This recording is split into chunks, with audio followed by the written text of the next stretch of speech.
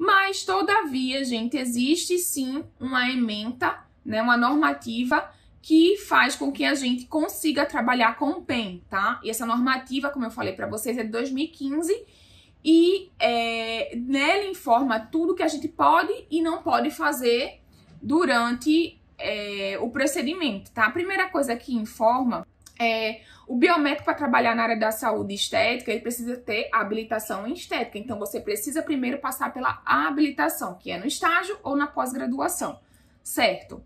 Segundo, o profissional biomédico habilitado, tá? É, pode realizar esse procedimento desde que ele utilize a glicose hipertônica como agente esclerosante, exclusivamente a glicose. Então, a gente só pode trabalhar com a glicose. Lembrando que eu estou falando do biomédico aqui, mas essa resolução se estende para a classe do enfermeiro, farmacêutico, do biólogo também. Lembra que eu falei no início dessa, dessa aula de hoje que o biomédico foi o primeiro a entrar nessa área da secagem dos vasinhos e os demais profissionais espelharam a resolução? Então agora vocês já sabem que nós só podemos trabalhar com a glicose, certo?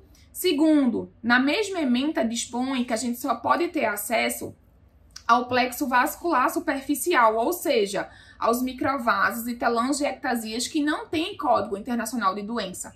Portanto, são disfunções estéticas, tá?